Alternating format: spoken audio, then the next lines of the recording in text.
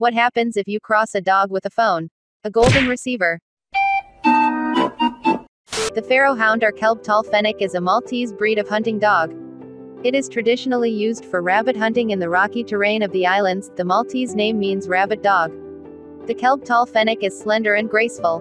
The head is long and finely chiseled, with a slight stop. The coat is glossy and short. It may be chestnut or tan, white patches on the back, sides, shoulder or back of the neck are a disqualifying characteristic, but the tip of the tail may be white. The eyes are amber colored. The dogs have an unusual trait of blushing when excited or happy, with their ears and noses becoming bright pink. The athletic Pharaoh Hound has a lithe and powerful build. They should be slightly longer than they are tall, with males standing 23 to 25 inches at the shoulder, females 21 to 24 inches. Pharaoh Hounds generally weigh 45 to 55 pounds.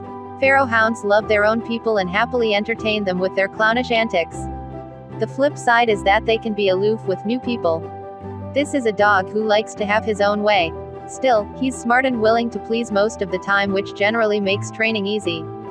Pharaoh hounds are very affectionate with children. Nonetheless, as with every breed, you should always teach children how to approach and touch dogs, and always supervise any interactions between dogs and young children to prevent any biting or ear or tail pulling on the part of either party.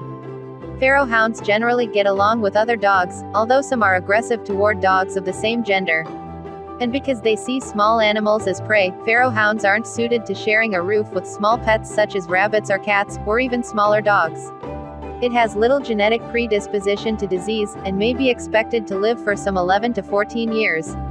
The average Pharaoh hound price is between $1,500 and $2,500. This price varies depending on the location and reputation of the breeder.